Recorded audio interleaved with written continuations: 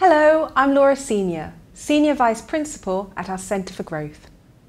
In today's episode, as a response to requests, I'm going to explore how new staff are supported in the onboarding process when they join a Dixons Academy. We heavily invest in the professional growth of all our staff to help them to have a successful start with us. What is the purpose of onboarding? New staff understand our trust mission and values and our culture of high expectations. They understand the rationale for what we do and how we operate. They know how their role links to achieving our mission. It's an opportunity to introduce our deliberate practice culture. They can meet their wider teams. They receive supporting documentation. It increases confidence for new staff to help them settle and it ensures consistency in current practices when new staff join us. What does this include? For some of our academies, all new staff, associate and teaching attend a weekend induction event. If they're joining us at the start of an academic year, this would typically be in May, led by the senior leadership team.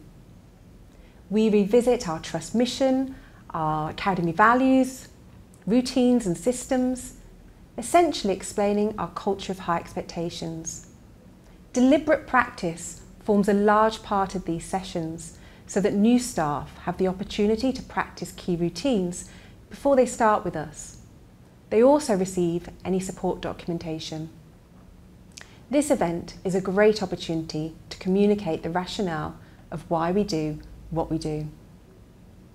New staff will spend a day at the Academy Again, if they're joining us for the new academic year, this would typically be in June.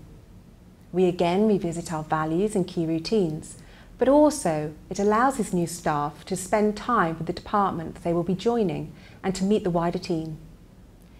Teaching staff receive their timetables and it's an opportunity to review where department resources are stored, such as long-term plans and schemes of work. Some academies operate a buddy system New staff are paired with a legacy member of staff who they can speak to at any point about any aspect of the Academy.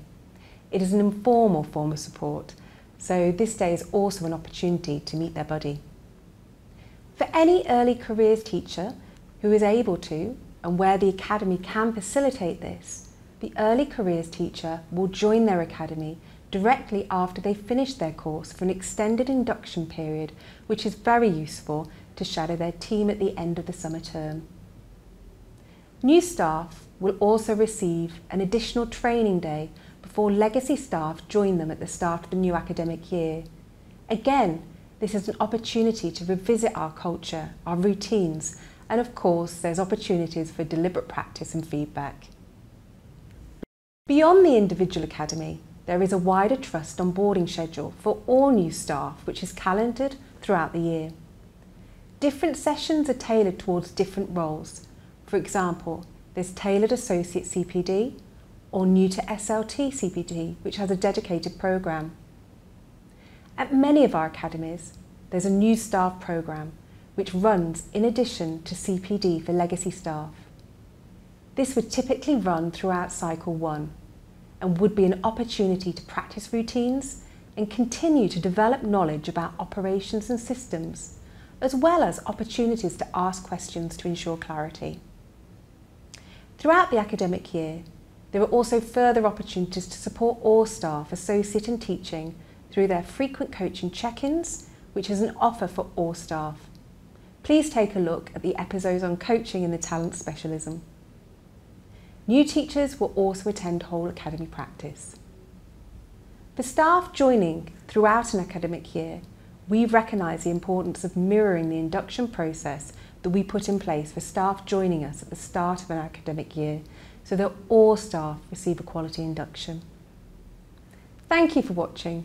I hope you found this useful. If you haven't already done so, remember to sign up to our open source platform